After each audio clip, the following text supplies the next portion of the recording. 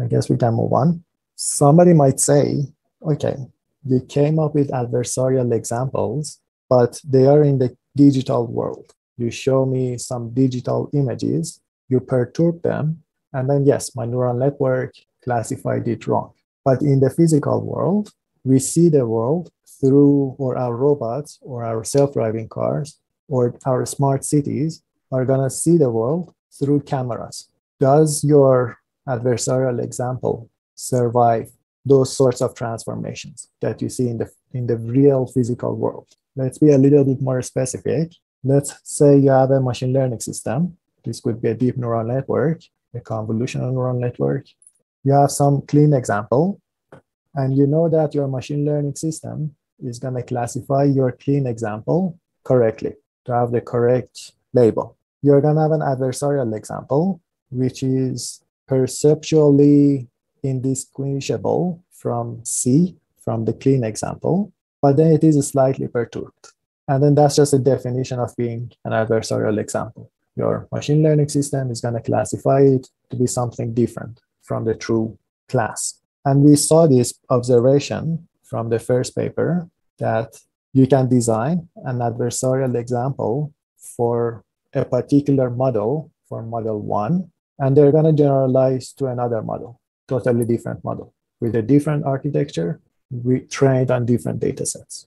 And that's why adversarial examples are serious problems. It, if this was only for one particular architecture trained on that particular data set, then that wouldn't be a big deal. The problem is that they are generalizable. And as I mentioned, our robots are going to perceive the world through cameras and perhaps some other sensors. Our self driving cars are going to perceive the world through cameras or through uh, LiDAR scanners.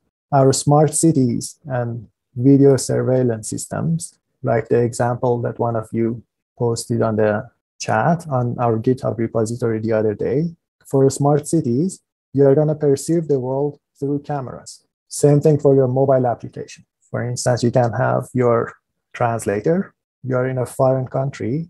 You point your camera at a writing on a building, and that writing on that building, let's say, is in Chinese, and that's going to get translated for you to English. And then you're going to know that that's a restaurant. Okay? So you're going to perceive the world through cameras. Do adversarial examples survive the, tra- the transformations that you see in the physical world? Do they remain adversarial examples after a couple of transformations? Maybe, for instance, the topic of this paper is you print the image, which is adversarially perturbed. You take a photo out of it, and then you show it to your neural network. So you do some transformations on your image before showing it to your neural network. Does this image remain an adversarial example? So is the premise clear what we're trying to do? Okay, perfect. So you have some image from your data set, and then you're gonna perturb it and then take an image or take a photo of that image. For instance, this, washer, we can just take an image from a printed version of the same image. And let's say that was a clean data, you didn't perturb it at all. And that's gonna get classified as a washer with uh, 53 percent confidence. You perturb it a little bit, take the image, take the photo of the printed image, and then it's going to get classified with a high confidence as a safe. And the second guess is a washer. You perturb it a little bit more, and that's going to get classified as a safe and a loudspeaker with high confidences. So it turns out that these adversarial examples are actually surviving these operations that you print your image and take a photo out of it and then show it to your neural network. And let's say, is this process uh, stable with respect to different methods of coming up with adversarial examples? And let's do a quick recap of the methods that were available up until 2016 and just compare them. What if you use a different method? What if you don't use gradient sign method? What if you use another type of a method to come up with adversarial example? Does it survive or not? If not, why? You have an image. That image has a true class that's the y true. For instance, you have your washer, the true class is a washer. You have your cross entropy loss, which is the negative of the log of the probability of the given class. And then let's just remember this operation. This is just a definition. And that's about clipping. You want to do a perturbation to your image. You don't want that perturbation to be too big in terms of your L infinity norm. And L infinity norm is looking at the maximum of every single entry in your image, every single pixel. And it could be red, green, blue. You, all, you don't want to go beyond the available number, the maximum number for your red, green, blue channels. So at maximum, if you perturb it a little bit, you don't want to go beyond 255. And at the minimum, you don't want to go below zero because the ranges of acceptable pixel values are from 0 to 255. You perturb your image, uh, epsilon to the right and epsilon to the left, and that's clipping. So you want your x prime to be in the interval from minus epsilon to epsilon around the values of your input. So, and that's the idea of clipping. It's a function of your image, epsilon, and the image that you're perturbing, or the perturbed image. We covered fast gradient sign method, let's remember it and look at it from a different perspective. We were motivating this from the perspective of uh, high dimensionality. And because of the high dimensionality of images, even linear models could end up having adversaries or adversarial examples. That was the motivation. And that was where these gradients and signs were coming in. You can have a different motivation. Your loss function for the true class is the negative of the log of your probability of the true class. And if you try to maximize this rather than minimize, you try to maximize this with respect to x and take a step of gradient ascent, you are trying to actually decrease the probability of the true class. So if you try to maximize because of this negative sign, you are minimizing the probability of the true class. And that's why you have a plus sign here. That's gradient ascent.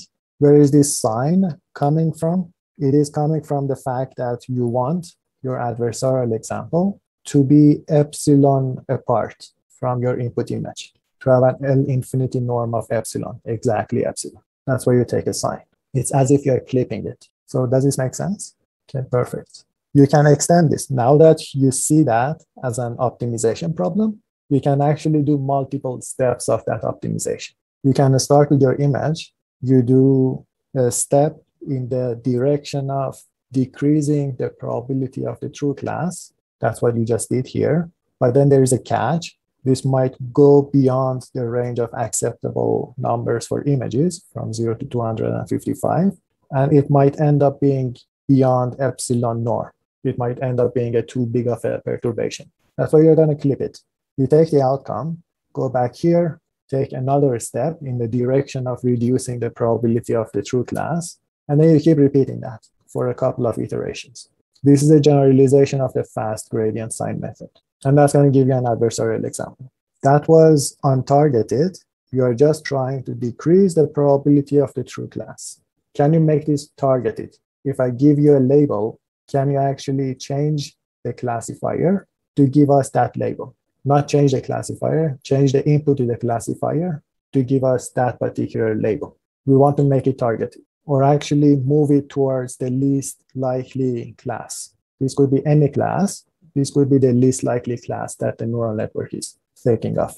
Because what does your neural network does? It's going to take an image. It's going to give you a probability distribution over all possible classes that could happen. And then you can pick out the label that is the least likely. For instance, in this case, among these two, loudspeaker is the least likely because it has the smaller number. Or if you have multiple classes, you're choosing the least likely one. And you want your neural network to move towards giving you the most or the least likely class as its prediction. What can you do? You can try to maximize the probability of your neural network picking out this class or this label. It means that you're maximizing this probability. Equivalently, you're minimizing this loss function. That's why you're taking steps in the direction of the negative of your loss function evaluated at the least likely. And this y least likely could be any class that you can choose. And this could be targeted or it could be least likely class method. Just keep maximizing the probability or keep increasing the probability of the least likely class. Let's define a constant And because we want to compare fast method, basic iterative methods, and iterative least likely class method together, and we want to met we want to have a metric to compare all of these methods together, don't worry about the mathematical formula. If you spend some time at home, expand these terms, it's going to become clear. But intuitively, you're counting or you're computing the fraction of adversarial images which are no longer misclassified after the transformation. So this is the fraction of adversarial images that are not going to survive your transformation. And these C's that you see up there are just a bunch of ones and zeros. After the summations, they're going to give you the count. It's going to give you out of all of the images that are adversarial, how many of them are not going to survive. And this is going to help you find out how many of them are not going to survive because it's going to get zeroed out after this transformation. And the transformation could be printing the image and taking a photo of the result. And these bars are just the binary negations. So intuitively, distraction rate is the fraction of adversarial images that are not going to remain adversarial after your transformations. And n is the total number of images that you're going to use to find this fraction. What's going to happen? Now you're comparing the fast method, the iterative basic method, and the least likely class method. It turns out that as you increase or decrease the magnitude of those perturbations out of uh, initially out of 100 examples here around 61 of them are not going to survive after the perturbation so the smaller the perturbation they're going to have a higher distraction rate and then these distraction rates are going to become higher and higher as you use more and more complex methods so basic iterative is more complex than fast method iterative least likely class is more complex than the other one. And why are these numbers bigger? Why are the distraction rates bigger? Because uh, maybe your method for finding the adversarial example is going to end up picking out some fine details in your images and then use them to come up with adversarial examples. And that's why these are going to be more sensitive to these transformations. After the transformations, they are not going to survive because those fine details perhaps don't matter that much. I think I'm going to stop here and answer questions. And for those of you who want to leave, you can leave. I'll be around.